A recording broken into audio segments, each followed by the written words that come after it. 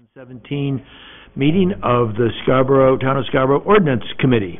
Uh, Present are Councilor St. Clair and Foley, uh, and myself, uh, Councilor Donovan.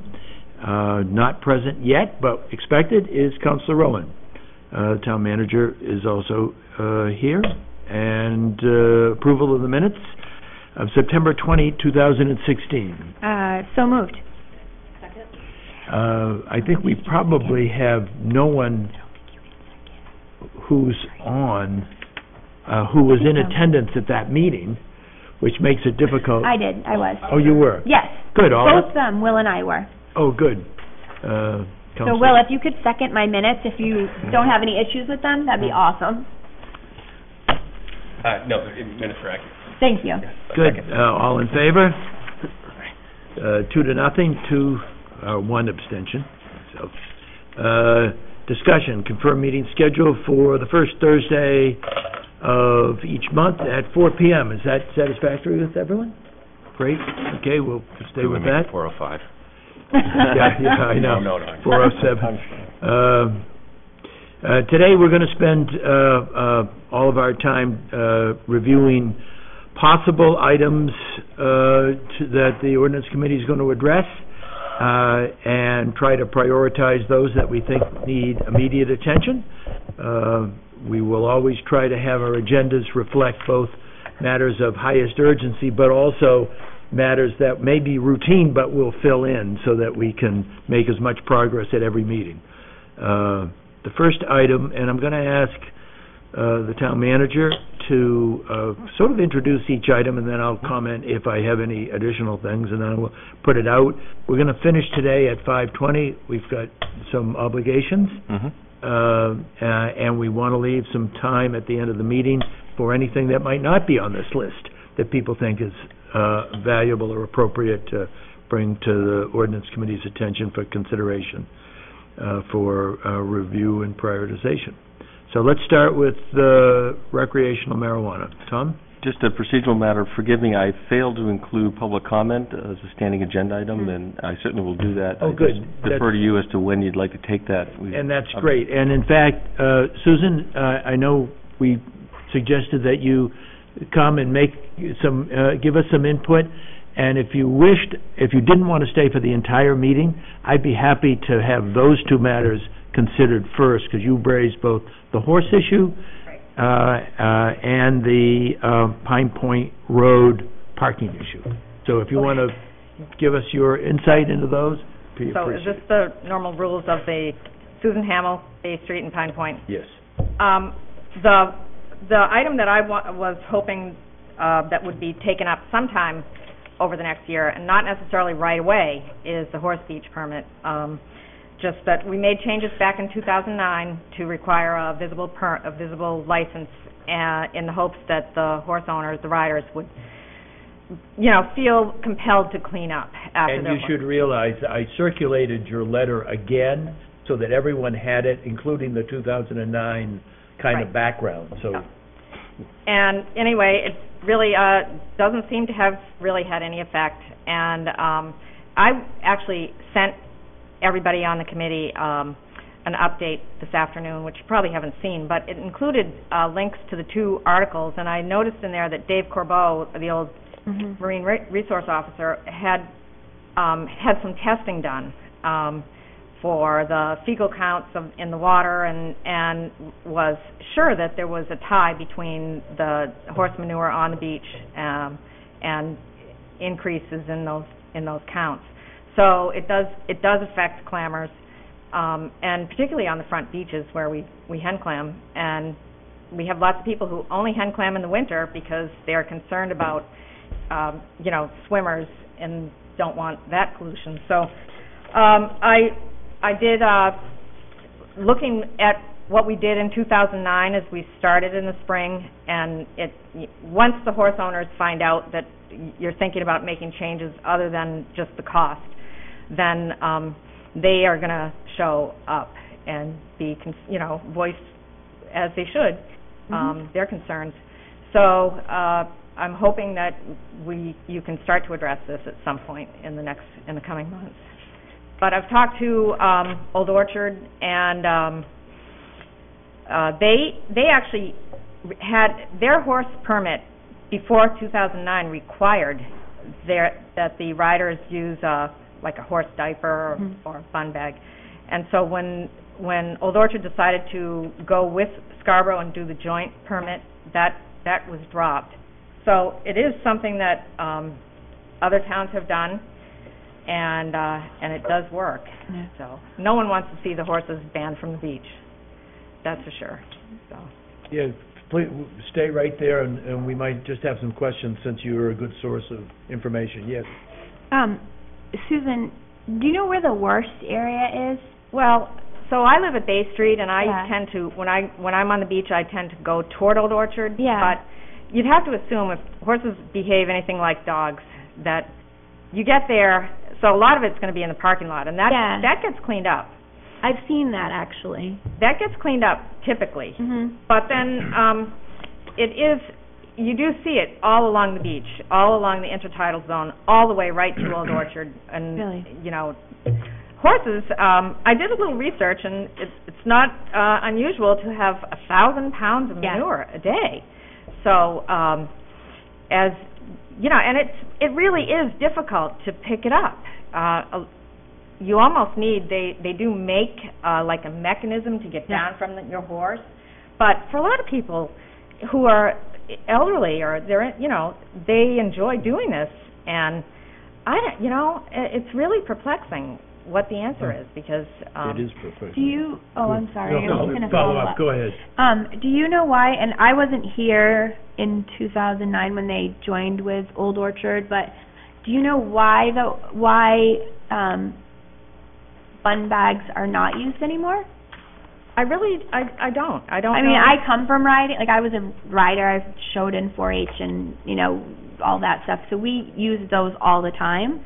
That's nothing foreign to me, so I'm not, they're very easy. I assume that it's, it's, um, you know, the, the Scarborough riders never had to use them, and, and historically, Old Orchard didn't sell that many permits. They would sell five, and Scarborough would sell a hundred and seventy-five. Well, I know when I was in Old Orchard, um, we didn't sell as many because obviously that beach is much more crowded, um, and smaller in the, in the main areas where people had enough room to be able to drop off their horse. Um, so the access is a lot smaller than Scarborough's access. So I think that's probably why they don't get anywhere near as many as we do. Plus, um, Old Orchard had, it was ten dollars and you, you got like three ti- three days. It was good for three days.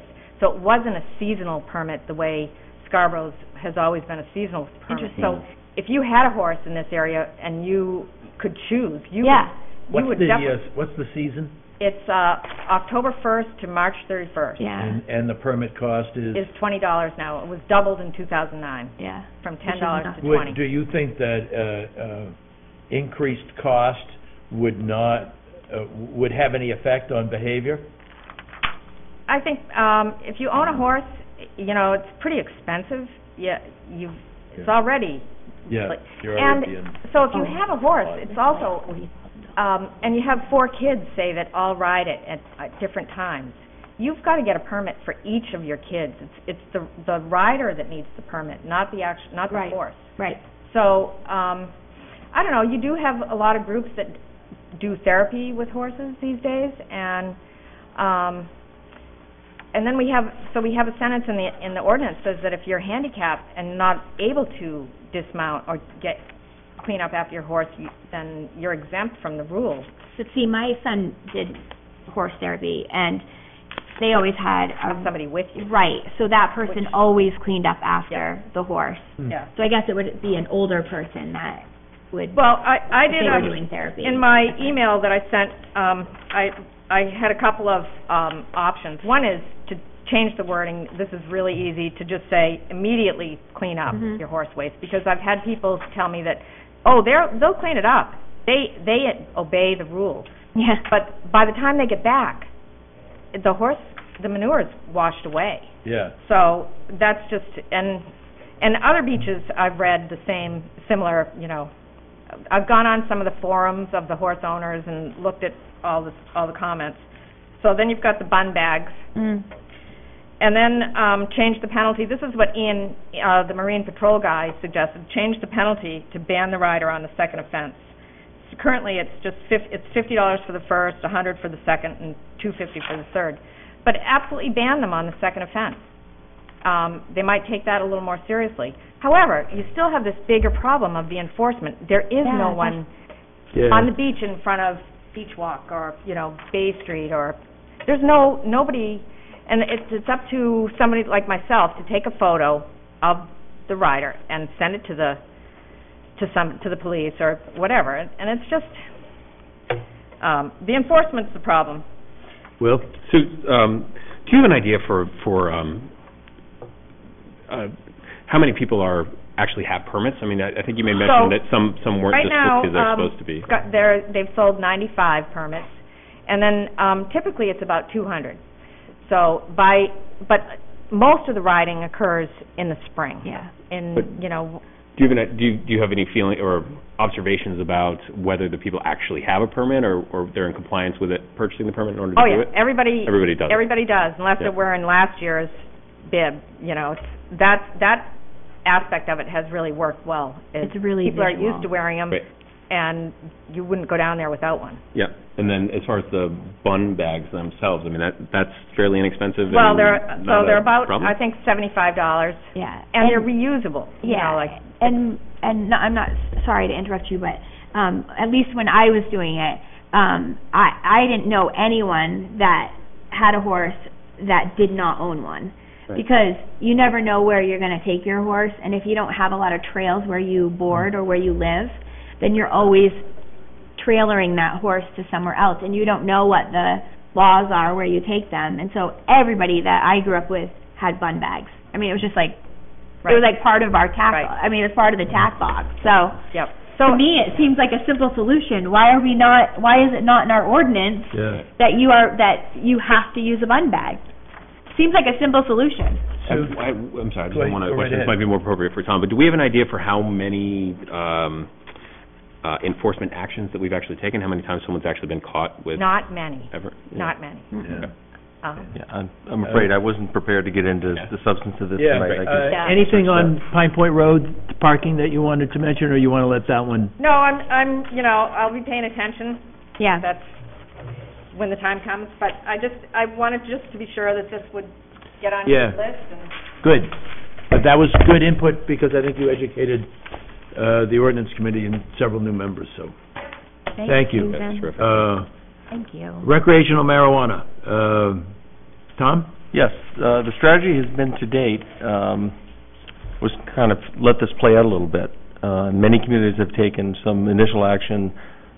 The most appropriate, I shouldn't say that, the most common approach I've seen municipally is to impose a moratorium, so they have time to study and put in place the proper regulations.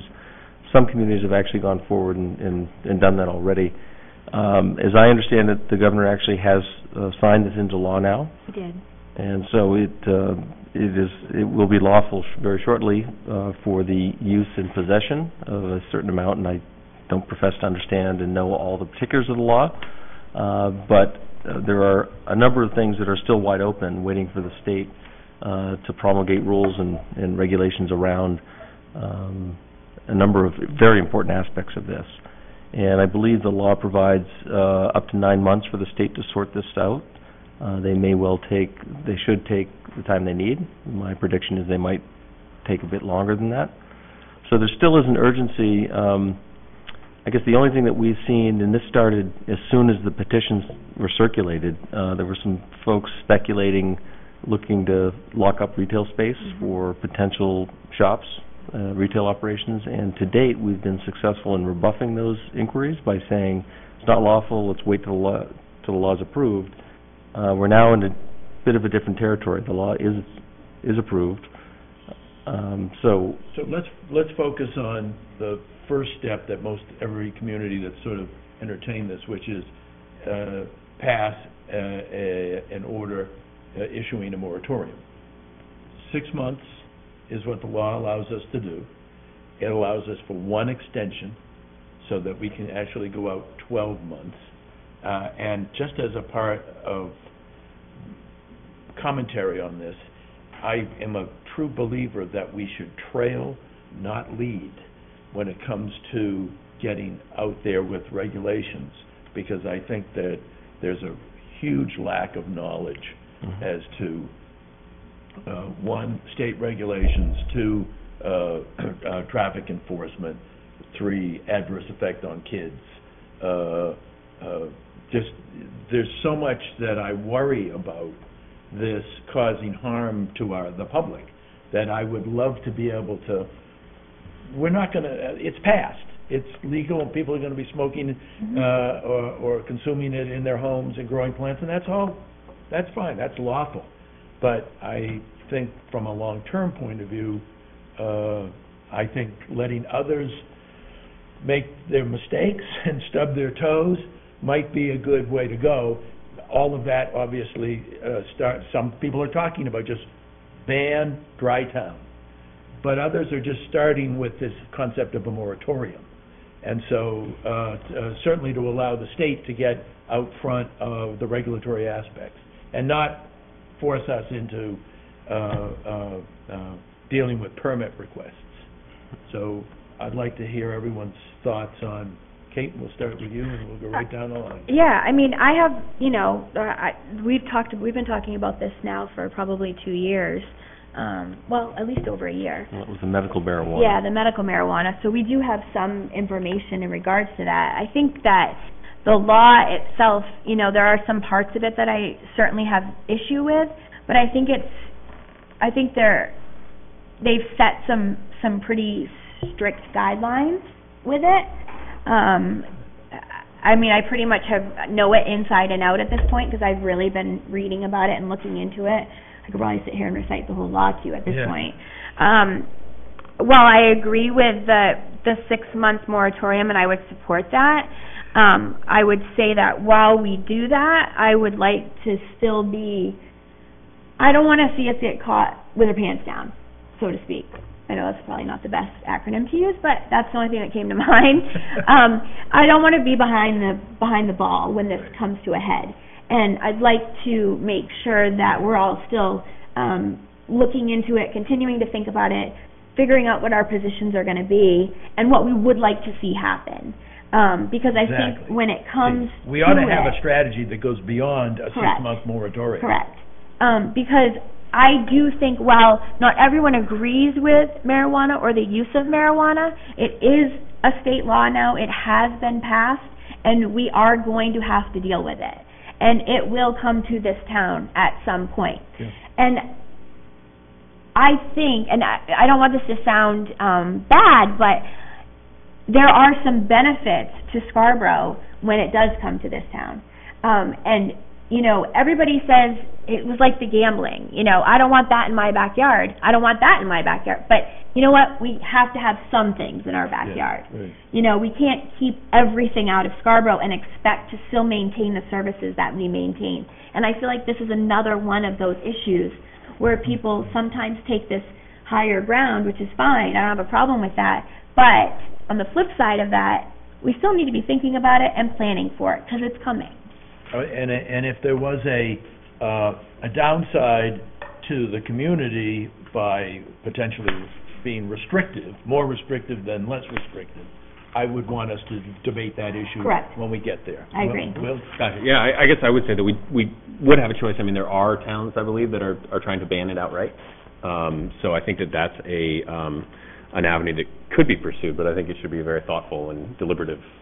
That's, Well, just, It's a just to be scary clear, thought, though. It's my understanding, the only thing that we can do locally, and not the only thing, but the areas that we have regulatory control of locally, because possession and use is lawful statewide. that's right. Right. To be clear. And state This has to do local. with cultivation, uh, certainly of a commercial scale, Cultivation and retail sales. retail sales and social Correct. clubs. And social clubs. Correct. Uh, tho- those, the, the law very clearly allows local regulatory authority So those three are the ones For we're those really talking about. aspects. Gotcha. And we So- cannot, state always trumps local.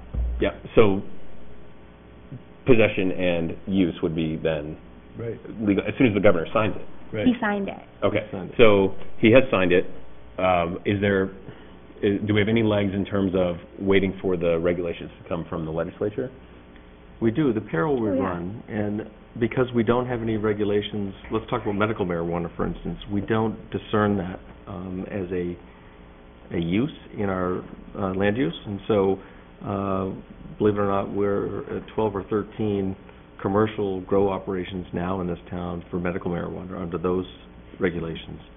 And they are permitted under commercial agriculture because we don't have any, uh, th- any separate use category. Mhm. Right. Um, I would note that we've been doing this for three or four years, and there's really not No an issue. issue. We, we haven't had an issue. Uh, All I, industrial grow lights. and so, uh, to the PD. transitioning to now recreational marijuana with particularly the resale, retail sales aspect of it, that's not been an issue for medical marijuana, but, uh, it's likely to be a very big issue, and again, failing any specific use called, I don't know what we call it, marijuana retail, uh, it falls under general retail, which is fairly ubiquitous in town. You can, you can have retail operations in a lot of places that we may not want this kind of retail operation, Mhm. close to schools and other potential uses. So th- that's the danger we run, um, between now and then. So, th- so there, without, in the absence of a moratorium, because this has been signed, we couldn't have any other way to stop a retail op- operation from opening in town with, unless we had a moratorium. It's getting increasingly Well, difficult. It would Yeah, be, it would no, I be difficult mean- because we'd have to come up with a Yeah. theory for why it isn't just a general I- retail But sale. I, I would think that the, the, the, the theory or the grounds would be that those regulations haven't been written. Yeah, I suspect we can, that would be our standard response, that the state has not yet promulgated rules and regs around that operation, and until they do so, Yeah, but we're not that, issuing permits. Right. that will only last for so long. Well, it only lasts for so long, and, but to my, but to Bill's point about not being, uh, leading this Correct. and, and, and, uh, being out ahead, the longer that we could wait for the moratorium, if we only have a twelve-month period, and this, this is a fairly complex issue that we may want to take our time with, um, uh, the longer that we could wait before we do that initial moratorium, the, the better. So if there, if there was a way to not permit the retail or the cultivation or the social club, Cultivation is likely to Yeah. cultivation be more be challenging. Yep. Um, But I think retail and social clubs will, we can continue to maintain that position, and if we get pressed on it, uh, then we can come back. A moratorium can be done fairly quickly by council. So we'll talk about the moratorium and, and process and time in a second. But Katie, eh, your initial thoughts on this? Um, I would support a mor- moratorium for sure. I do think it's important not to let it go. I like your idea around, um, you know, learning from others. You know, let some others make a few mistakes, and there's gonna be mistakes with something new like this. But I do think it's really important to have kind of that long-term vision. So in ten years, what does this look like in our town? Where does it fit best? Um, you know, I, see, I understood it a little differently in that I didn't think we could, um, not issue permits if we didn't have a moratorium. But I, that came from an article, and I can't tell you that it was very factual, so that's what's my understanding. Yeah, I If we can, if we can, if we can still say. it's definitely a gray area. Yeah, Yes. Because you because I can't, thought they could then because it could be take the, you to court or general say sale of- that That's you're true. discriminating or Produce. not, and you're, exactly, you're, so. right. They could, I mean, we can Yeah. continue to do it, they've, we've rebuffed all advances so far, we can continue with the same party line. If someone turns then- up the heat, then- then, then we could Yeah. take some evasive action. So I would be fine with either approach, uh, but So- if, if we, if So that let- let's, let's talk then about, uh, the moratorium. Will's making a point that, uh, the more we drag our feet, there's a little advantage because it extends out this twelve-month it could be period. sixteen or eighteen months. instead Tom, of 12. Tom, you're pointing out that doing a moratorium as, is it a ordinance or is it an order? I beg your pardon, I don't know, I believe it's an ordinance, but, so it could be done in two successive meetings. So, You could do uh, it fairly quickly. Okay. Uh, What we certainly can do is, and the good thing about first and second reading, Yeah, you can schedule your second reading when you want. yeah. Um, But it would seem as if we could start with a first first reading. I And- just, I, I understand your point, um, and I understand your point and your point. Um, I- I just, I think a moratorium for six months is, is plenty of time. I think there are other towns that are actually gonna jump on this because of the income potential that could, could possibly come out of it. Um, so I think within six months, we're gonna already see things happening. Um, I think we start to get into a very, um, a really touchy issue when we start telling people no, and it's going on all around us, and it is a state law. Right. Um, But I think my concern was more around the fact that it could be nine months or longer before the state regulations come out. And if we start our clock earlier, we're gonna have that much less time to respond to whatever those regulations are. I, okay, my, And my your- point Your is point was just that we, take the six months, there may be something lost correct. by, uh, by not acting Correct. to put in place a regulatory framework for Correct. selling it and growing it. Well, what is lost, if I might ask?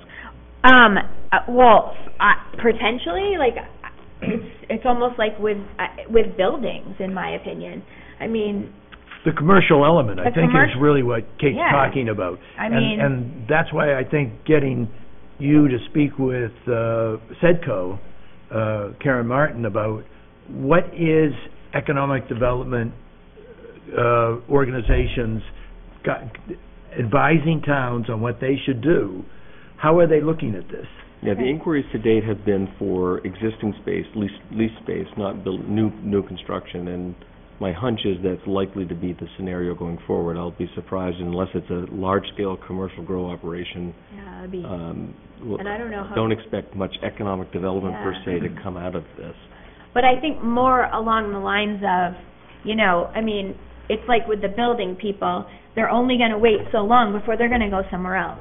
And maybe that's fine with certain people on the council, maybe that's fine with certain people in town, but I'm getting to a point where I start to get frustrated when I'm constantly hearing from people, well, we want this and we want that, but we don't want any- our town to change at all. We don't want to let anybody else in our town. We don't want to do this, we don't want to do that. But we want to keep our schools great. We want to have great road crews. We want to have this.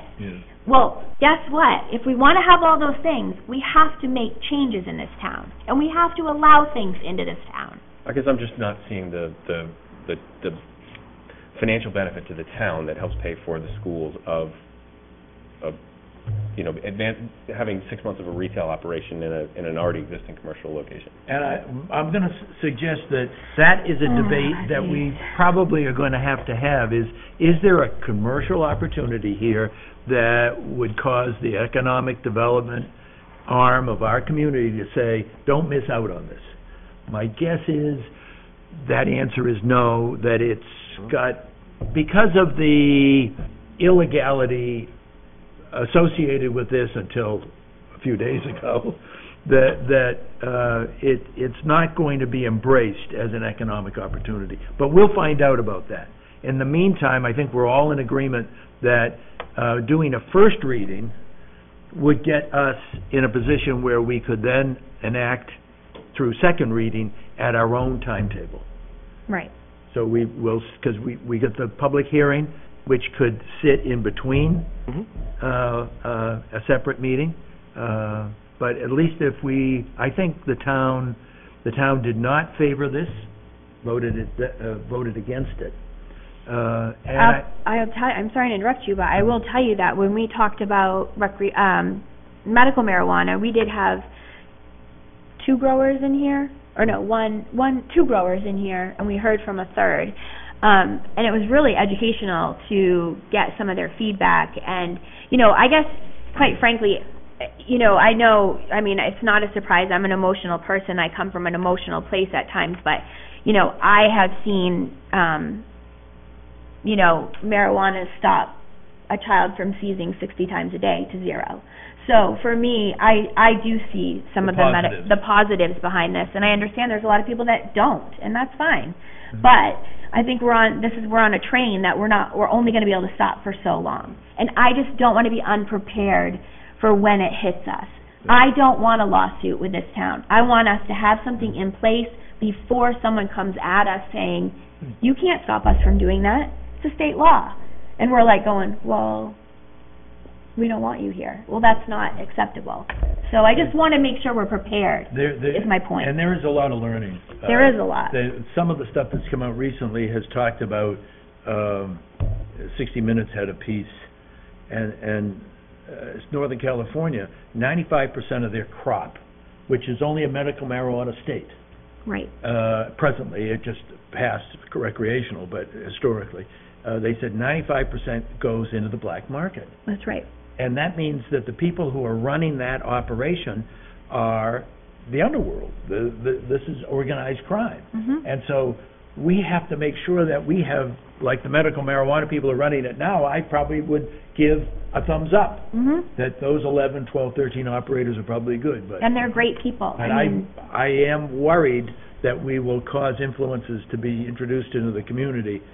You're right, the ball is rolling down the hill. that's, So that's the scary there's, part. there's, we'll have to act, so Yeah. everyone And I in, think that's where the vision piece comes in, like, do we wanna have twenty growers in town? Do we wanna have fifty growers in town? Do we want a retail shop next to the Beal's Ice Cream Store? Or do we want it Mhm. somewhere, you know, Yeah. in a different area? And those are the things that I think we have, I mean, I'm in no way, shape, or form thinking we're stopping this train or necessarily making this huge judgment. so Tom, what I'm thinking is that while this is a high sensitivity ordinance, that it may be three or four months before we kind of jump into it?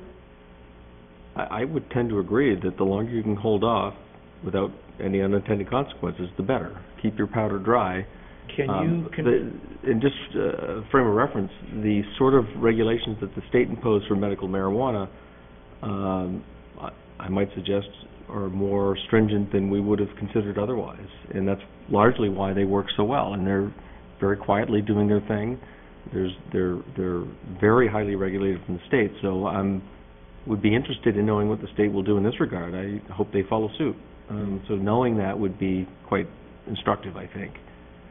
and I understand that to put in place a moratorium, you need to have a, a valid public purpose. Uh, and to extend it, you have to have a continuation of that valid public purpose. So, That's true. uh, and, and I would say we're in, probably on solid footing because of the nine months the state's gonna take at a minimum, everyone says, it's gonna be more like twelve. But Yeah. if you're talking with council, you may wanna, uh, uh, make that inquiry. So, okay, let's, let's I, start with. I I like the idea of doing the first reading so that we're ready to go if, if need be, but I'm, I'm very concerned about moving ahead of the state. Yes, um, Personally. yeah, try and defer until, As And I soon as, think- as soon as the next meeting, or uh, February, we can advance that first reading? yeah, February would be good. I think the moratorium needs to articulate the public purpose, and I think, I think we Mhm. can quite easily put that together in this Right. case. Okay, So, uh, just so I understand, so what we're discussing is having another ordinance where we, meeting where we then advance to the next town council meeting. So it would be the end of February before we did that first reading, is that what I'm hearing? I was thinking that we Or do it at the, Just do it. No, at it's the, a separate fir- at the ordinance. first, uh, February first meeting, At the February first town council meeting, have Yeah. that first reading of the, Yeah. of the ordinance. Okay, right. that works for me. And I think we're all going to, um, uh, certainly the town manager will be attuned to what's going on, we all will be attuned to, uh, and we'll advance to the second uh, public hearing and the second reading on a schedule that's going to be decided, probably, we'll look at it at the, Fe- our February meeting, Yeah. uh, and see That makes where we are, we'll look at it each meeting. Yep. All right, next item, consumer fireworks, Tom? Well, this is a matter that, uh, actually we had a council workshop on. Um, I don't recall there being any kind of clear consensus position by the council. There was some conversation at that workshop, uh, in the fall. Uh, and this really fell out of, uh, kind of a flurry of complaints, uh, predictably that comes, uh, came to the town shortly after July fourth. Uh, that's, that's when we typically see the complaints. Uh, we did some survey work that was really ineffectual, uh, other than indicating that people are interested in the topic. I think that's probably the only takeaway that I would feel comfortable with. Um, and now, of course, we've had the, uh, New Year's Day holiday, uh, come and go. Uh, I think it was Counselor Hayes last night that reported, uh, on his experience. Uh, was it, was it Peter? Was it Sean, Sean, right. Hmm. And, and I would personally echo it. In my neighborhood, it was, uh, next to non-existent this year for whatever reason. I actually took a video. My next door neighbor did it, Oh. and they were, and they were not, um, they were not little. They were Yeah. rather large. So- Yeah, that was the surprise to me, that, that Hmm. these consumer fireworks, as defined by state law and Scarborough ordinance, are big deals. They, they're not insubstantial fireworks. Uh, so that whole question of, oh, it's illegal stuff that's making this impressive display is not, not the case. I think everything we're seeing is legal. Yeah, and I, can I say something? Go ahead. Um, and I, I, I'd like to see this discussed potentially rather soon, um, before we get into the, you know, warmer summer holiday. Um, I am, this has been on, this is, I've been on ordinance now for four years. This has been on our agenda every year. Um, we still have not made any moves on it, and I think it's time to make a move. Um, all I've heard are complaints against them. Um, I'm not hearing anything positive. Um, I understand that they're a staple for some families, and um, I think that's great. I'm not saying that I necessarily would, um, at this point, lean to take them away altogether. Um, but I would like to um, make changes to the to the ordinance, um, and I'd like to tighten it up. Will? So I heard a, an interesting idea at the workshop um, from the manager of um, Phantom Fireworks, which was um, by permit only. Yep. Um, which I thought was an interesting suggestion. I agree and with I'd, you. I'd like to pursue that a little bit. Um, and at least have conversations about what we really want. And, you know, that, that was not terribly well attended by the public, so perhaps there's not quite as much, um, interest in, on either side. Um, so I guess I'd, I'd like to have more discussion. I would support Will on that, um, uh, doing that type of, getting a permit. Yeah. Key? Uh, I guess just anecdotally, I've, part of my new job has been doing a lot of door knocking, just like I did during the campaign, and I've probably spoken to hundred and fifty residents in the last, uh, month or so, and I, like Kate, I, I surprisingly have not had anybody overly supportive, nobody wants to see them gone completely, but people don't seem to be, uh, um, coming out, crawling out of the woodwork saying, uh, keep them, keep them. So I would like, I mean, if people feel strongly, this is the time to get to us and let us know. Um, I like the idea of potentially think, looking, exploring the permit idea, um, and maybe limiting the days. I think enforcement's always going to be our bear, um, unfortunately, so. Can I just make one comment, Bill? Go right ahead. To follow up Go on right what ahead. both um, Counselor Rowan and Counselor Foley said. I think one thing, too, to keep in mind, um, and I think Will will probably see some of this, but, you know, we've been talking about this for a couple of years, so I've seen public interest in it dwindle because people are like, oh, we're talking about it again. When I first brought it up three years ago on my Facebook page, I probably had fifteen emails about it. When I brought it up two months ago, it, I barely had anything, and I think it was because people were like, "We already told you how we feel about it, and nothing changed. So why are we even giving you our opinion?" Good point. So I think that, maybe that's not the whole reason behind it, but I do think that that's part of it. It's been on my agenda for years, so I think people are frustrated by me continuing to talk about it. And I think it's either do something or drop it.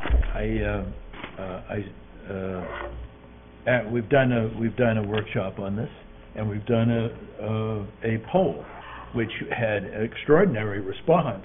It may not have been the most disciplined poll, but it did show a lot of people saying, we're bothered by this. I agree. Uh, we had, at the workshop, the seven of us, uh, indicated kind of, it wasn't a strong consensus, uh, in any one particular direction, to leave it alone, or restrict it, or ban it. No, nothing coalesced around that, that, that, one of those three options.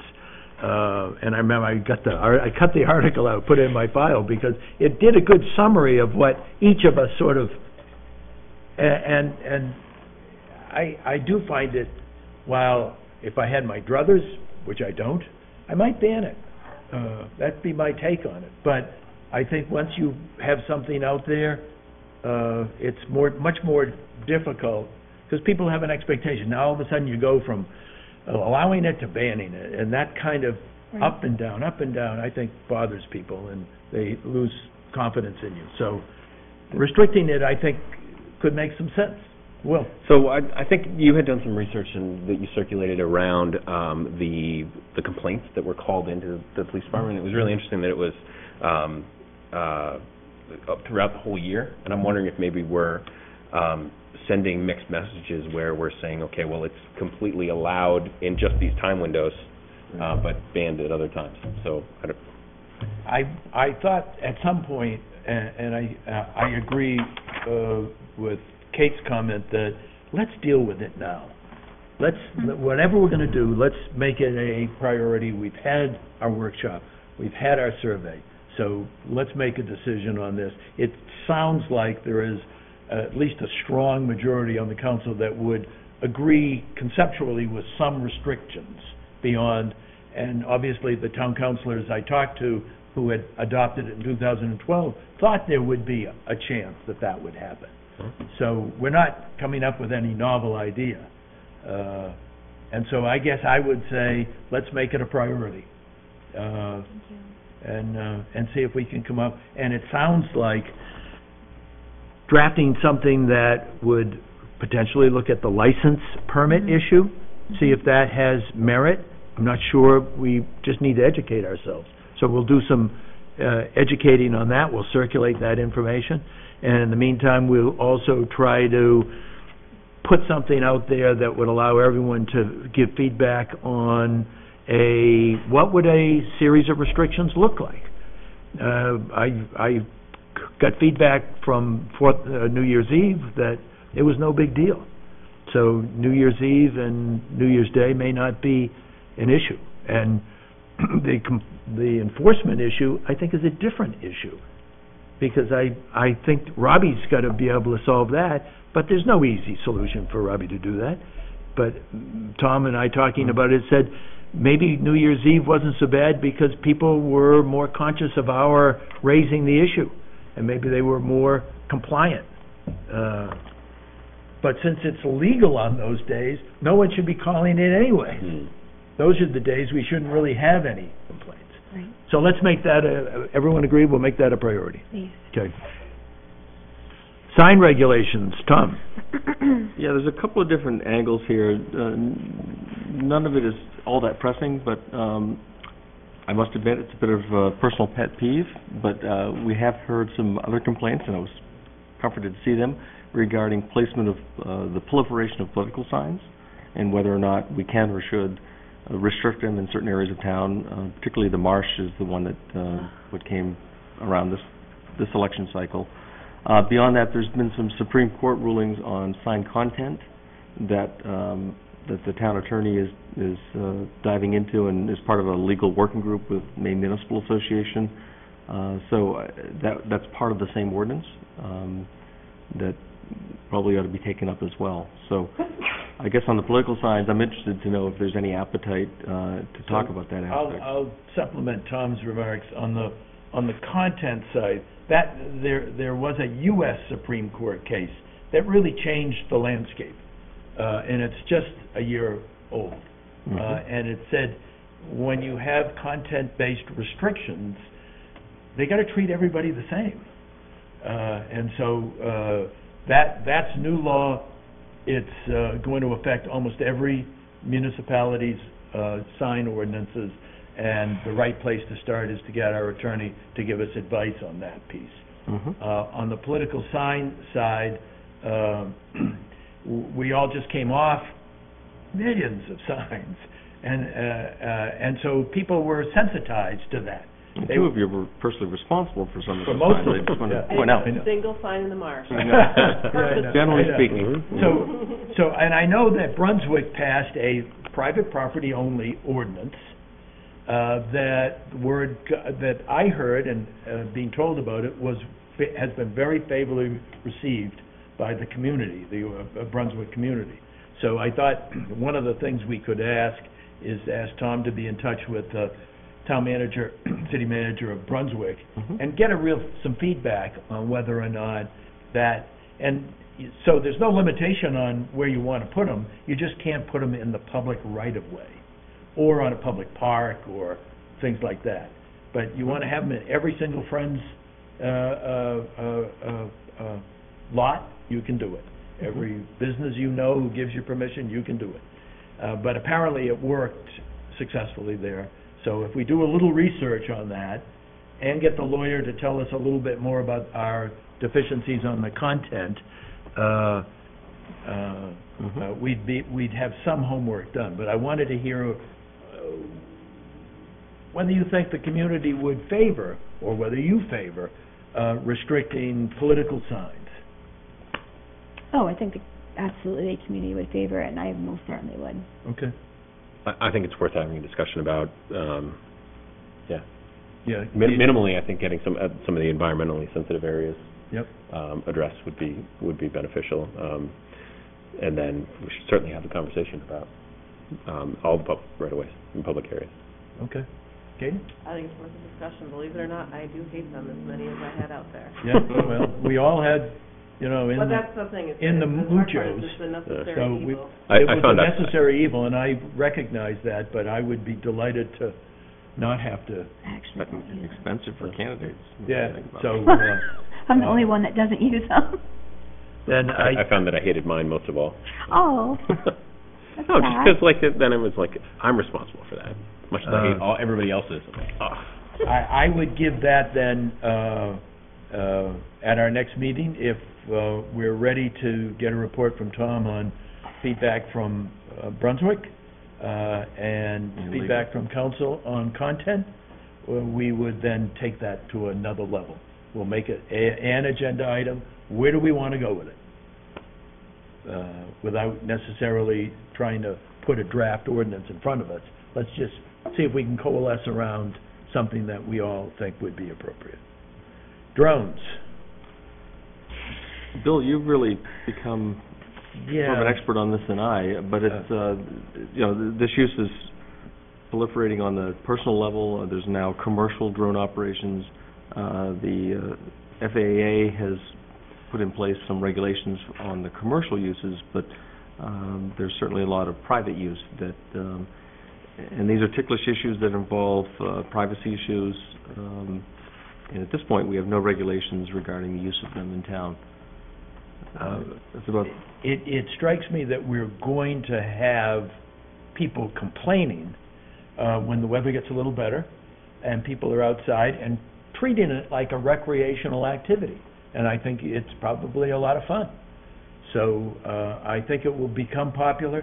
They're being sold now in the millions, uh, and they're not expensive, uh, and they're not easy to operate. Uh, I had uh, uh, a real estate broker who obviously wanted to use it for that purpose, and he wanted to use my backyard for training purposes, just because it's a big open space where no one can get hurt. But the, they, they can cause harm, so, uh, uh, I think if I had to make a recommendation, I would say, let's ask the Maine Municipal Association to give us guidance on where this is going, uh, creating our own ordinance to deal with the safety issues, the privacy issues. That's not that easy to do, because we're not in the middle of it. But I think, uh, one of our, uh, legal counsels, counsel has been involved in a group that's been studying it. Mhm. Phil? It may, it may make sense to have Phil to spend an hour or two of his time to attend and address a number of these things, uh, at some level of So depth. I could see scheduling in a session where we actually have, and would be, I wouldn't even think in terms of executive session, I would say, No. Mm-mm. give us, No, just- give us your best advice on where the southern Maine uh, municipal community is going with this. As an aside, I'm not aware of any complaints that have come from the public regarding drone use, but uh, this is one of those that it, I think it's up and coming and And I Makes think some it's sense to get ahead of appear it, in perhaps. public parks, and it's gonna appear on public beaches. Uh, because those are open spaces that are, you can use them easily. I'm, I saw a drone, I could not believe the size of it.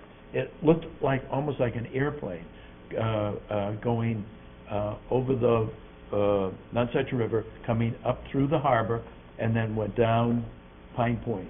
And it was staggeringly big. It wasn't like this. It was like thirty feet, forty feet across. Wow. My problem is, Wow. is really the ones that, the ones that can take pictures and transmit back for people, um, on the beach and for children on the beach and, um, I have a real problem that that's a possibility that, you know, I mean, when we were, when I was a police officer down in Old Orchard, we were confiscating cameras from people that were taking pictures of small children on the beach Yep. when they were changing. So that really bothers me that these drones could be on the beach and we don't potentially know who's launching that and it's just there. Hmm.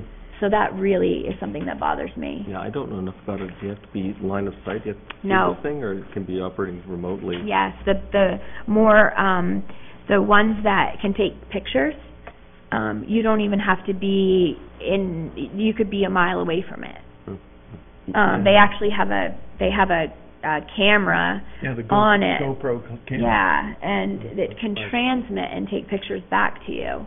Mhm. Um, I mentioned that my sister-in-law is the superintendent up north, and they have, they were the first high school in the state to have a class on how to teach kids Yeah. how to pilot drones. So, um, I think it's definitely something we need more information on. And personally, I, I would never want to see one on any of our beaches. Yeah. I would go that far. Katie? Um, well, so my concern with them at the beaches are, one, a little bit like Kate said about the kids, but also the plovers. Yes. It's like kites, Yeah. uh, you know, they Oh, can it would be, definitely it can be be. seen as a predator. But, um, Hmm. but uh, my question is really, do we know what other municipalities are doing with this? And in some ways, I mean, this seems really complex to me. Um, I think it's good to research it, but this would be one of those things where I would probably do what you said earlier, is I might wait and see what some other people do first. I'm not, when I think about enforcing something like that, eh, talk about complicated. If we can't get, you know, if we can't enforce someone not picking up the horse poop, how we're gonna enforce somebody flying a drone from a mile away, um, until we start seeing major complaints and problems emerging, um, it just might not be the, Mhm. it wouldn't, it wouldn't be my, in my top three probably, I guess is what I'm saying. And I, and I see, uh, uh, Phil Saucier, who's been involved with this analysis, given, I went to, uh, uh, a seminar that he gave, Mhm. uh, uh, and it was very good. Uh, I think the MMA is studying the issue on behalf of all, and therefore we have a couple of sources ready-made to sort of give us an update. And we're not gonna, we're not gonna create the mold. I think we're gonna let somebody else do it. Hopefully MMA will do it. I think there's a model ordinance that, that they've already drafted that is Uh, a starting point for the conversation. And if we are educated when the concerns and complaints are to arise in what would be more the summer season, at least we'll be ready to act, which is probably be a good place to leave it. Okay. Uh, That's not- firearms. That's not first priority, that's Not something mine, later on the agenda, okay. Yeah, we'll wait to hear back from you in mo- the months to come, and it's, it doesn't have to be in the next month or two. Uh, firearms, this, we ju- just stumbled- stumbled on this this past hunting season. Uh, there's a firearms ordinance in place for, in town, and in short, it says it shall be unlawful for any person to shoot or discharge any firearm on land owned by the town of Scarborough. Um, we don't post any of that property, and it may be that I can, it's just implicit here that I have the authority based on that language to go post property. I just want to be clear in that regard. There's a couple of town-owned parcels that uh, hunting is, is a, is a big deal. Mm-hmm. There's about 40 acres of town-owned property uh, at the end of uh, the Tibbetts Road off Broadturn Road. It's an old landfill site, but it's, at this point, um, it, it's beautiful, pristine uh, habitat for all sorts of wildlife. We Um, hear firearm, we hear it at my house. Yeah, that's probably occurring on private property, Yeah. I suspect. But this is for town-owned property. Yeah. I'm not sure if we even need to amend this ordinance to uh, direct posting of the property, or whether, I guess the question is, do you want us to go to some greater lengths to enforce this requirement? Because right now, we don't. And So the- so the- people are unsuspecting, frankly. The, the question is, we, we have a firearms ordinance that does not permit, uh, discharging a firearm on public land. Right. Correct. But we don't post the land, so people aren't really aware that they are necessarily on public land. And so what Tom's saying is, uh, is it implicit in the sta- uh, ordinance as it now exists, that he has the authority to go ahead and post? Or should we just add a reference to the ordinance that, that clarifies? I heard one- It's not posted as public land, or it's not posted that you Either. can fire a firearm? Either Oh. way. Either way. And So- because posting generally means, I posted my land, it means, do not trespass, do not discharge a firearm. I, I guess I heard one other thing in, in there, though, was that there, that there actually is town land on which hunting may be a, a good use, which is explicitly prohibited by the ordinance, and we're just choosing not to enforce it. And I think that might be a bad Technically. precedent to just say, well, we're gonna have an ordinance on the books and say we're gonna ignore. I, I think it is implicit that I could post it under this, I mean, it's clear. Um, I guess there might be a bit of a firestorm that results, and that's why I wanted to get some, Because people are, are hunting on it, Yeah. and and, Frankly, and I'm we're not okay aware with that that. there's any, necessarily any problems. In fact, uh, a very responsible hunter was the one that brought it to our attention. He came in to ask, and, Yeah. and, uh, that's what caused me to stumble on it. It, it wasn't, uh, as a result of a complaint, uh, it was someone just inquiring. personally, I feel like we should probably take a look at that to get that straightened out. Yeah, I do too. Okay, Tom, let's make it a, That's uh, not a front burner, I mean, that's probably an issue for I like to- fall, frankly, uh, yeah, Mm. you're right, it's, it's not gonna be an issue till the Yep. fall, but I do think that it would be, uh, whether it raises a bit of a firestorm or not, we'll find out. Uh, uh, traffic, amend update speed limits and Pine Point parking. Yeah, there's a number of little, I mean, the traffic ordinance is this large ordinance that deals with all kind of things traffic-related, so there's a lot of moving parts to that. Uh, so there's a couple of uh, speed limit updates that I'm aware of. DOT has changed some limits, and we ought to update our ordinance. And this is the ordinance where if we wish to do some parking restrictions or allowances, no, I guess restrictions, because there's none that exist, on the lower end of Pine Point Road, this would be the ordinance to do it in. Um, this has been kicking around for two, if not three years, although we've made some progress in the last eight months or so in that we're studying more carefully Pine Point area in particular and doing some master planning. And Angela Blanchette, the town engineer, has actually come up with a parking design that we've uh, been chatting with the business owners um, regarding, and I I think we may have presented it to the ordinance committee as well. Uh, We've not gone to the next step of actually, by ordinance, um, putting in new regulations that would restrict parking. Um, Is that East Grand Avenue plan, or is that Pine Point Road plan? This is Pine Point Road, Okay, in front of the landing and the clam bake, that's kind of, from the bridge down yeah. to the, to the intersection. So I, I guess I would say that, so we've been, my understanding is that we've been looking at making some improvements to the road, but maybe we shouldn't wait for our parking ordinance to do that. I think it's been, uh, there have been enough complaints about it that we should probably look at it in advance of any changes that we make. We've, we've been looking at it for a couple of years, and we met two years ago with all of the owners down there, like the Landing, Clam Bake, um, the lobster people that just went in there, um, Mhm. to get their, sort of their opinion on like, how do you think this is working? What happens when you overfill? Um, and they actually asked us not to touch it. They were like, it's fine the way it is. We actually would prefer you to do nothing at that time. Yeah, I think we've, I think they've, some of them have come around to, because we actually proposed a plan to them. Uh, Clam Bake is the only holdout, um, and as I recall, their concern is that they, they say that they get all the overflow. When do. parking is restricted somehow, there's all sorts of folks that try to sneak into their lot, and When like the landing, when it overfills, they go to the clam bake. And like one of the brothers sometimes has to stand in the parking lot to make sure that it's his restaurant people that are parking there. So it's gotta be frustrating. Um, You, did you say Angela, uh, has a proposed yes, design for that? yes. So, given that we passed a complete streets policy, Angela is now working and would incorporate that policy into this new design. We've got a big East Grand Avenue, you know, redesign proposed. We've got Conroy's Garage is going to be a restaurant that Barbecue. seems to be So unusually arranged for parking. They've got a quarter mile away, they've got parking. So, we've got a lot of things going on that would seem to need to move forward before we as an ordinance committee would really jump in and, and drive that.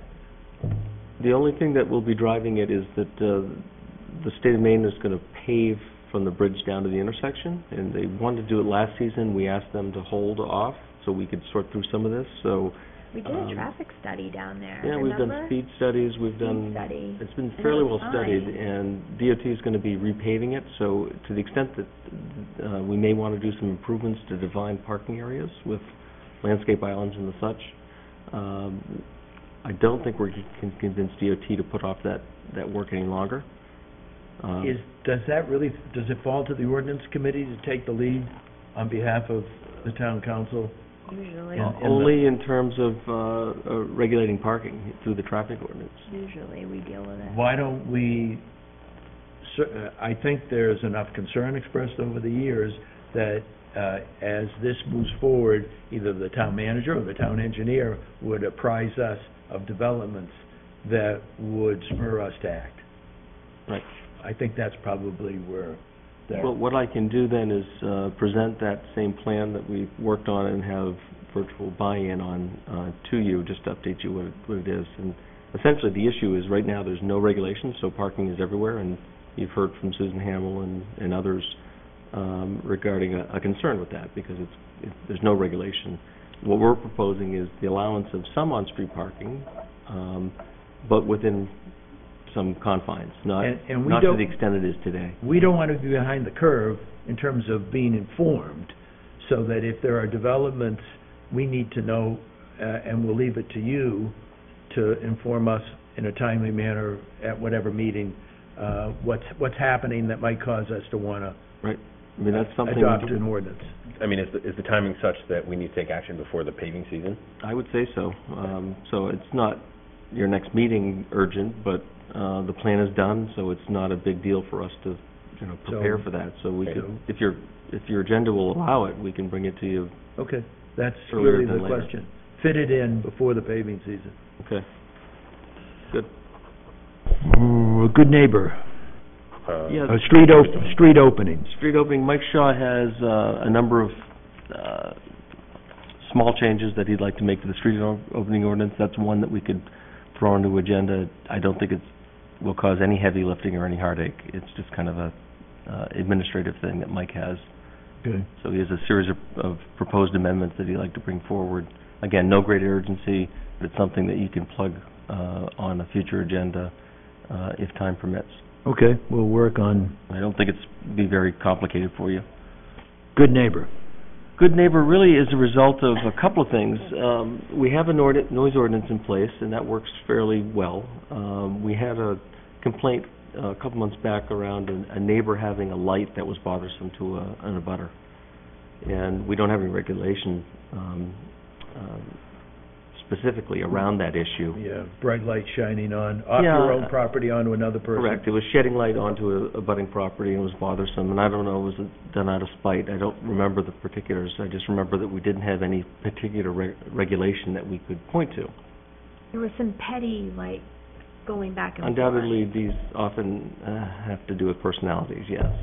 Well, I think everybody, you know, when you're in the town council position, you go, protect neighbors from harm when they're just doing nothing wrong. Right. And somebody else Yeah. is the neighbor and causing them annoyance. You really do try and Mhm. protect them against that, so. The other issue that comes up for somewhat, but fairly consistently, is we don't have a, what, what I would term a property maintenance, uh, code in terms of how someone cares for their property, if they let their grass grow tall, or, and on occasion, uh, neighbors can be bothered by how their neighbors care for their property. So it's possible, why we've, why I've kind of thrown it in this good neighbor, we could have an ordinance that touches on kind of all these sorts of things, what Mhm. people do on their private property that has an effect on others. Could, could I add a pet peeve? Uh, so, do we have anything that, um, I know in Portland, if you have a sidewalk, you have to clear it of snow. Um, but I don't believe that we have anything here in Scarborough, that that might fall in, into No, that as well.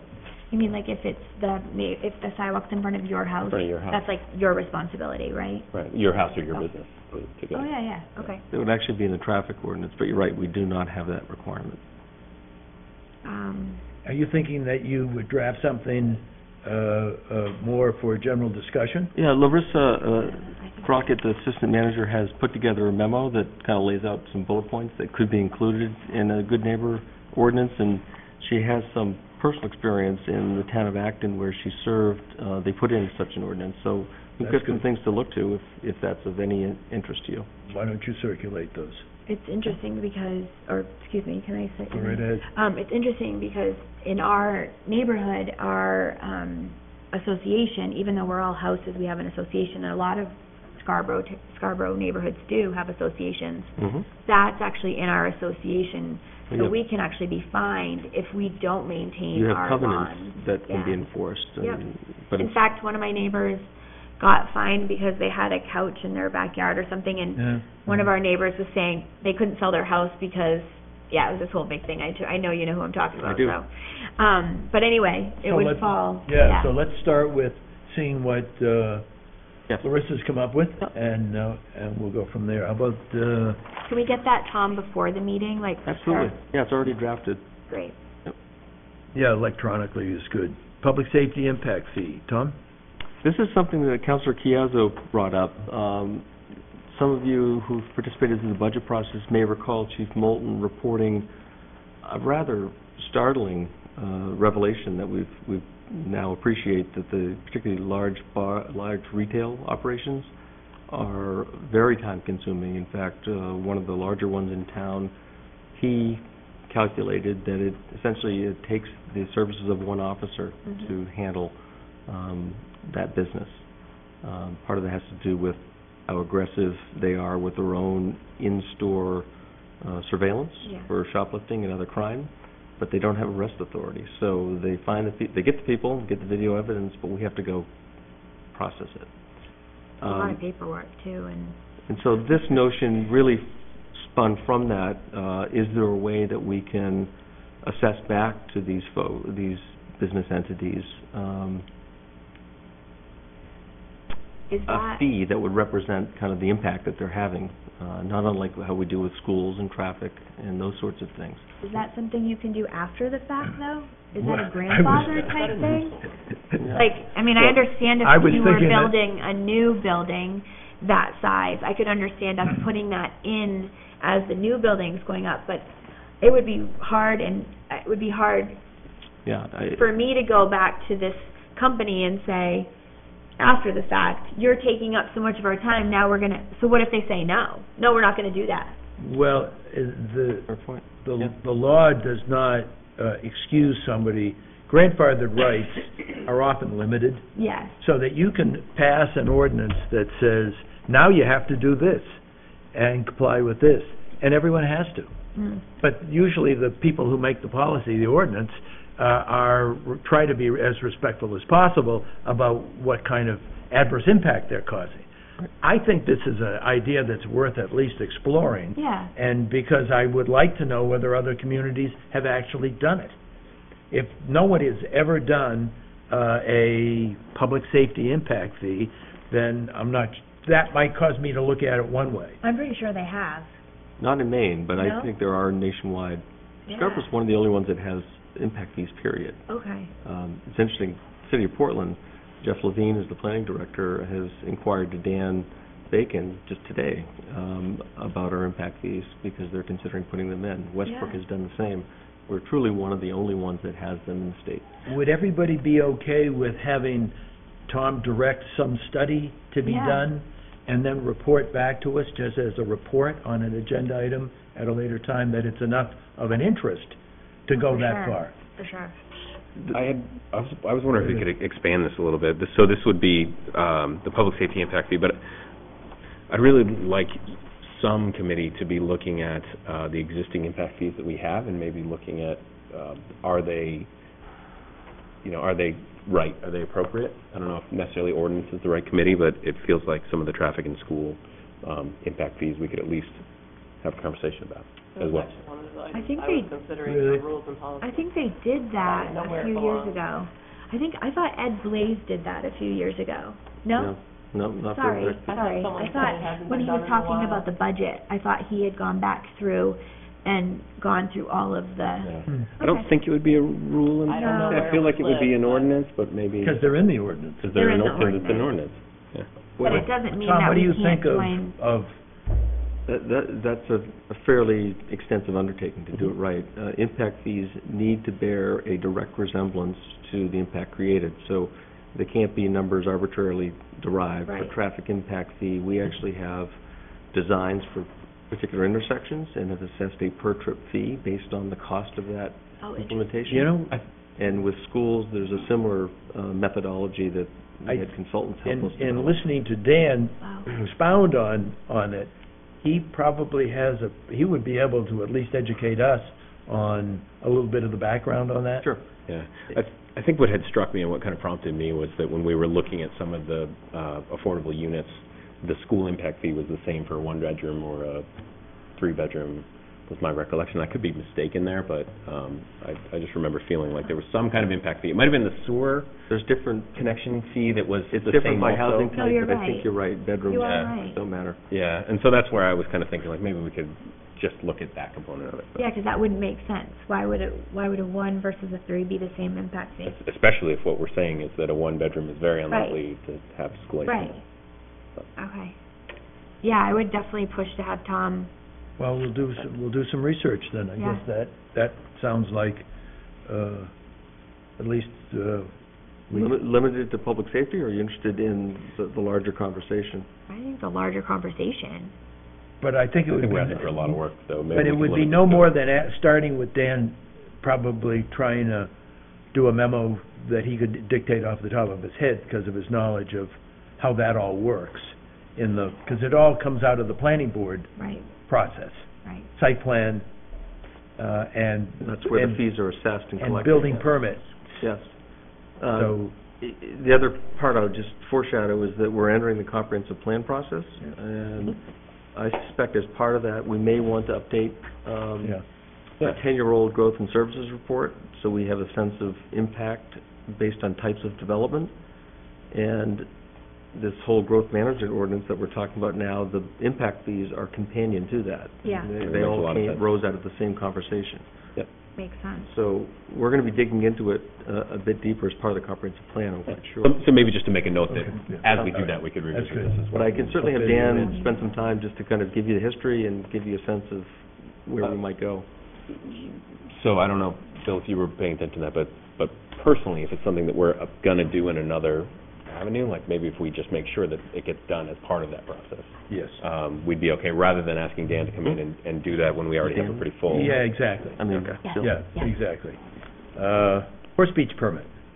I think So she, Sue kind of covered that, and how do? Yeah, her points were, uh, add the word immediately Mhm. And we to, talked to the about cleanup, The bun bags. and the bun bags, uh, ban rider for a second uh, offense, uh, and that the permit cost is twenty bucks, which is Right. pretty low. Yeah, Uh, and we'd have to coordinate our efforts with Old Orchard Beach. correct.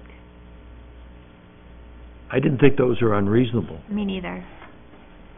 as, a- as a scope of, I'd love to see the bun bags. Tom, what'd you My think? dog likes Do you think that I, I think Ms. Hamill is quite right that um, the horse riders will be interested in this matter, so uh, it doesn't seem like an unreasonable thing to me. It it sounds like it's fairly commonplace. I don't, I just don't see why you can't, why they can't just be required to use bun bags. It seems so Yeah. simple to me Yeah, to it does fix seem it. simple. Why make it more complicated than it Yeah. has to be? I was also wondering with the closing of Scarborough Downs, if there's going to be a drop in the use. I, I don't know, just curious. I have friends It's a that lot come of- from all over the state Yeah. to just ride on Scarborough Yeah, beaches. not just the trotters, I think there's just people use it for exercise. That's why I saw most Mm. stuff, but I don't Yeah, yeah. Uh, and the timing of that one is, um, seasonal, Mhm. so we wouldn't have to have anything on the books till next uh, October, right? Well, I mean, it's happening as we speak. Happening now. March, April, right? Well, I think it's it- the happening- season ends the thirty-first of March, was my Right, understanding. we're in season, so to speak. But So, most people have gotten their permits, right? but I guess I'm, what I'm saying is, we'd have to, uh, approve something, recommend something for first and second reading, and by the time you get done, it's April. Exactly. It's probably best to put in new regulations, issuing new Right. license, For the next- new Everyone- permits. yeah. Good, so I, just so we can prioritize it. Yep. I think it's of, the, the scope didn't sound unreasonable. Uh, the timing seems like we could do it this summer, Okay. uh, or fall. Um, shellfish, I have to You- apologize. No, I know I'm very sorry that you- I, I got to pick up my daughter. go ahead. Very sorry. Very embarrassing. Uh, shellfish. So shellfish, I just threw that on there. I had some forewarning that there might be some energy in looking back at that and proposing some changes. Um, you heard a, a fair amount of that last night, so I, I don't have an opinion either way. I, well, I guess I do. In a perfect world, I would love changes to come from the commission itself. Um, and I think we ought to give it some time to see if that can happen, um, before this, this group kind of takes it by the horns and tells them what's good for them. Um, and I think the, the mere threat that the council might do that might be a good motivator for them, frankly. Um, I am meeting next week with one, I hope two of the members that had previously resigned, and it looks as though they're, um, stand a good chance of getting back on, which is a great development. Step back. Um, so I I think it makes some sense to take a little step back, give them a little room to work, uh, and it would be best for them to come forward with some proposed changes rather than us forcing them upon them. Would it be appropriate for you to communicate to them that the ordinance committee considers them to be the best source of recommendations, and that what we would like to get from them is something of a report or recommendation, series of recommendations, as to how things might be improved? I don't think any of us are terribly familiar Mm. with the, uh, the ordinance and how people are appointed. Uh, It struck me as, um, uh, with only half the people who actually have licenses are actually clamming. That struck, I think, several of us as unusual, Uh, but I'm not sure that's the problem. Uh, The Marine uh, Resource Officer, I think, probably might have some ideas. The, the two areas that I've heard of, uh, for changes would be around governance, and that might be something the council has to push down on them, frankly. Uh, there's been a, a bit of a persistent concern that, uh, most of the folks on the Shellfish Commission have a financial interest in, uh, it's their livelihood. And so, there's no secret about that. Uh, so you could, if you wished, insist that that the governance be more representative of the general public, not just those in the commercial industry, if you will. Um, And we I- do I suspect designate uh, on various committees a representative, composition, you could somebody very who's an clear. expert in this, or is a member of the public. And so I would, I, I just speculate that they may be unable or unwilling to propose serious change in that regard because of self, self-interest. I'm, I'm just putting it out there. Uh, the other area is, uh, insisting that they surround themselves with better data for license allocation decisions. I think we heard that up and down the council chamber, uh, last night, that it would be great to have better data rather than personalities and opinions. Let's, let's know what we're talking about, and hopefully those decisions are easier in the future. So it could be that the ordinance uh, is very clear and, and um, mandates that certain things are done to ensure that the data will be done consistently year in, year out, and be available for decision-making. Uh, Yeah, I thought uh, last night was informative. Uh, I thought uh, uh, Will's uh, one to six vote was the best negative vote cast this year. I did. I was sitting there just thinking that was a good vote, The year is early, though. Uh, but, but it, politics had Not the first time I've lost six one. had, had us go, uh, the way we did, but it, it, uh, because it's, there's obviously a preservation of the stock, and, and I don't, none of us knew the answer. So what, what's cautious, what's careful, what's preserving and protecting, well, none of us really could, could get our hands around it.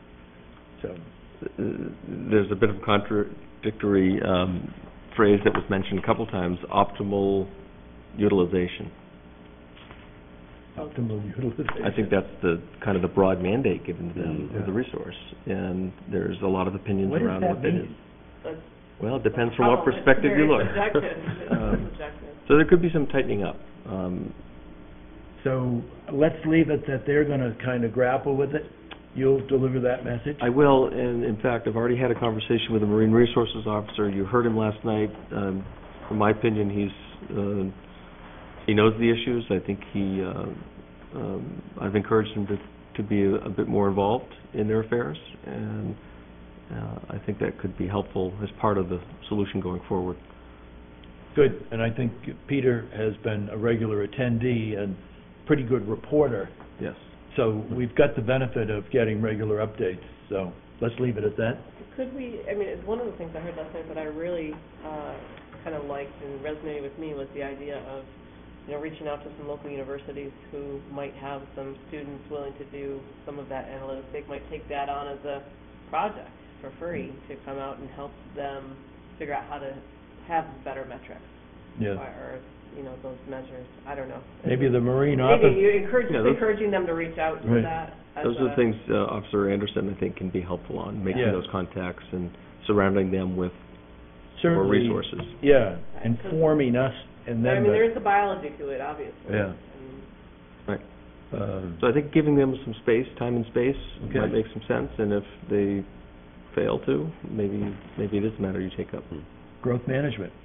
I just put that on because it's an issue that's swirling. I, I might suggest that it's probably already transcended committee. Uh, the full council had a taste of it and is likely to tackle it sooner than later as a full council.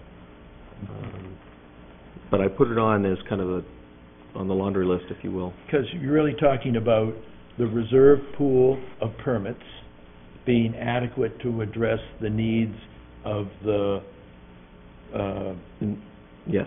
In the near, developments that are approved.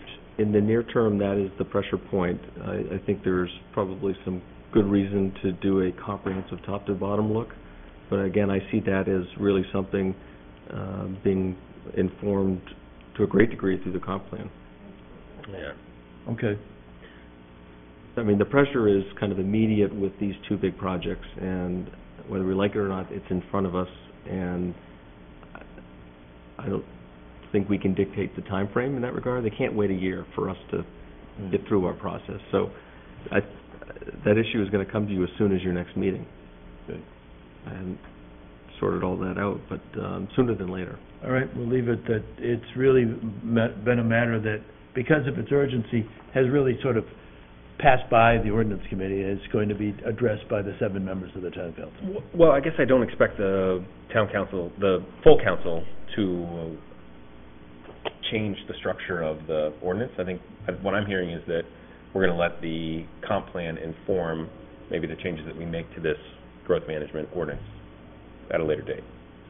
And so what we may need to do is replenish some of the numbers, but in the short term, there's no In the short term. Changes needed, In the right. short But in term, the that long would be the term- only thing. That would be the only thing, Yeah. exactly. And then in the longer term, we're Right. gonna, we're gonna do some more analysis of maybe housing types and, and Well. it, it could inform our growth Yeah, and- management and to ordinance. check in whether the annual allocation is appropriate or Right. it isn't. I mean, that's not been a problem to date, um, but it could be in a lower, recessionary. could be higher. Um, well, you just said we will see this as soon as our next meeting. That's the Uh, timeline we're on. I thought that it was going, the planning board had to meet on it first. Well, remember, what you considered uh, as a council was the contract zone for a particular project. The issue that overlays all of the multifamily conversation is the growth management ordinance and the reserve pool. So it's the reserve pool as opposed to renegotiating the contract zone. Yeah, Right, but I thought what we voted on at that meeting was to send this to the planning board, have them vet it through a little bit more, and then it would come back to us. March, February, March was the timeframe. Not the the con, the contract zone, yes. What the The Oh, contract- you're, you're talking about the next ordinance meeting. I was No, thinking. No, no, no he's, council meeting. the, because they're separate issues, and the, and the permits applies just as much to the executive park issue Yes. uh, as the contract zone people, which is gateway shops, uh, uh, both of them want assurances that they can build out the three hundred odd units uh, within one to two to three years. Yeah, within thirty-six months, something like that. I thought for the contract zone, I thought that was part of the contract, the, the zone that we had agreed to was that there would be, They I thought it was put one it of in them. there. They put it in there, Yes. That was inserted, right. So, th- so then my understanding is the driver then would be the enterprise park. Yes. Right, they don't need any zoning relief. They're permitted by right. Uh, they meet the ratio of sixty-forty, which is the issue for Gateway. Mhm. Uh, but they want some assurances sooner than later, um, so they can line up their And there's finance. a more of a timing issue. Yes, because entirely. It's just that, yeah, because they can build that out at their Right. leisure, no problem, as- as permits are available. Become available. Uh, right, so we can't, there's nothing we can do in terms of that particular project. It's the contract zone project that we have an opportunity to do any kind of negotiation. Sure, affordable Correct. housing, Right, but I'm Housing still a little types. confused because I, I, for clarity's sake, I thought, and then I thought we asked, I can go back and look through the notes. I thought that before it came back to the full council in any way, shape, or form, it would go to the planning board. And I was looking back, in fact, I expected it would be on the January ninth meeting, which it wasn't. So I'm wrong about that. That's, I'm just Again, trying to So the figure contract zone, I out. believe that you were correct, that the Hmm. contract zone has to go back through, but if the, the, the number of permits, which Enterprise, Enterprise, the business park, the other development Right. needs more permits, and so therefore it's coming before us to discuss. Before we get any of the info back from the planning board on the other one. On the other one, right, and, and. uh, exactly. You should not expect the planning board to report I on. didn't understand it would fall in that order, They sh- the planning board wouldn't, not customarily that they would report on an ordinance. Um, we have had the long-range planning committee, which is a committee of council, Mhm. kicking this issue around for three meetings. They've got another one tomorrow morning. Uh, this is the star conversation piece. And they're the group that typically informs the council and provides a recommendation on development-related, growth-related, um, issues in town. And part of this, I might have missed some things in transition, so did they provide something to the council prior to my arrival then? No, they've been working at it at the committee level, and again, they'll take it up tomorrow as part of their monthly meeting. Right. But you said you, they've had it at two or three I of think their that last this, this will be meetings. the third time they've talked about it, yes, tomorrow morning. And it, And I promised everyone I would Sorry, wrap this yeah. up at five-thirty. Uh, so, uh, uh, did anyone have any, anything else that wasn't on this long laundry list that they thought should be thrown in and we can discuss, uh, at a future meeting? I think there's plenty of work here. Yeah. Yeah, I mean, mine, mine was the impact fees, but I'm, I'm, uh, placated that it should wait till we get some more information from the council. Exactly. I think that's where we would push to be able to address uh, how we treat with affordable housing and Uh, that and, percentages and, and we'll get a better, more informed, uh, yeah. use of services, is that the name of the? uh, growth in services Growth was, services, uh, okay. the report that kind of kicked everything off. It finally documented the cost of development, if you will. Good. We covered a lot of ground. Uh, You need a motion? yeah, motion to adjourn would be accepted. So moved. I can vote now, because All, Steve's all, gone. right, all in favor? Good. Good. I You can just help think you you in had a an minute. alternate, you would have had an. Yeah, we would. That's right. I know. we- Stuck here forever. I think. I'd have been Geez, second. I can't wait till the next meeting.